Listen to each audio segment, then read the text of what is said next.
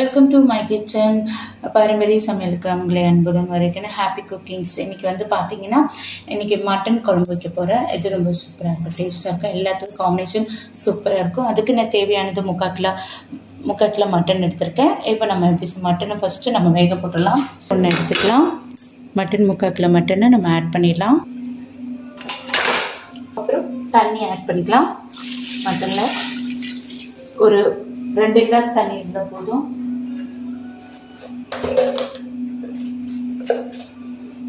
மஞ்சத்தூள் ஒரு அரை ஸ்பூன். உப்பு ஒரு அரை ஸ்பூன். இப்போ இந்த மட்டனை ஒரு மூணு விசில் விடலாம். அப்போ தான் வந்து குழம்புக்கும் நல்லா பாதியில் வேகும். மூணு விசில் விட்டுடலாம். மட்டன். இப்போ வடை சட்டி அடுப்பில் வச்சுட்டு கேஸ் ஆன் பண்ணிவிட்டேன் இப்போ வந்து ஆயில் வணக்கிற அளவுக்கு நான் ஆட் பண்ணிக்கலாம் எண்ணெய் நல்லா ஹீட் ஆகட்டும். வெங்காயம் ஒரு இரநூறு கிராம் அதை ஆட் பண்ணிடலாம்.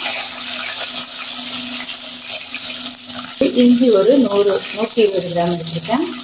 ஒரு முழு பூண்டு எடுத்துருக்கேன். அதையும் ஆட் பண்ணிக்கலாம். இதை நல்லா வதக்கிக்கலாம்.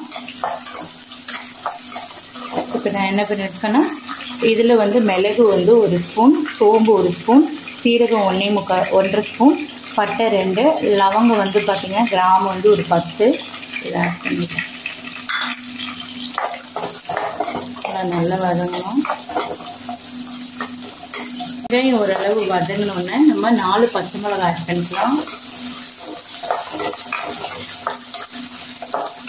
ரெண்டு தக்காளி ஆட் பண்ணிடலாம். டூ மினிட்ஸ் நல்லா வதக்கிடலாம். தக்காளியில் நல்லா வதங்கணும்.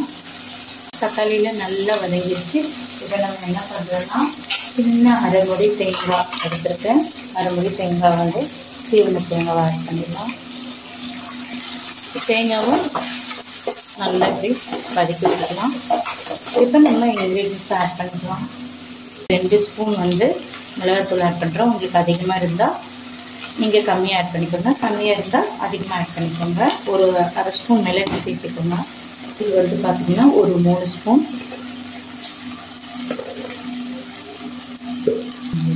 கரம் மசாலா ஒரு ஸ்பூன் இதெல்லாம் அப்படியே கேஸை ஆஃப் பண்ணிவிட்டு அப்படி ஒரு வதக்கு வதக்கிட்டு இதை ஆற விட்டு நல்லா நைஸாக அரைச்சிடலாம்.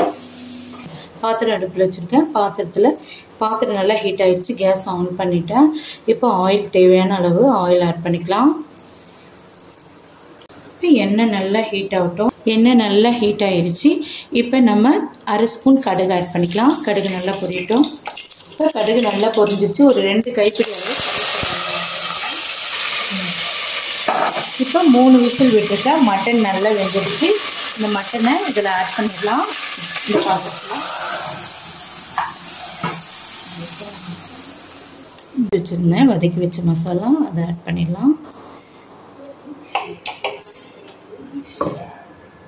இப்போ இதில் ரெண்டு கிளாஸ் மசாலா தண்ணி ஆட் பண்ணிடலாம். இப்போ தண்ணி தேவையான அளவு ஆட் பண்ணியாச்சு இந்த அளவுக்கு லிக்யூடாக இருந்தால் போதும். நல்ல மட்டன் வந்து ஏற்கனவே ஒரு பாதி பாதி மட்டன் மூணு விசில் விட்டு பாதி வந்துருச்சு.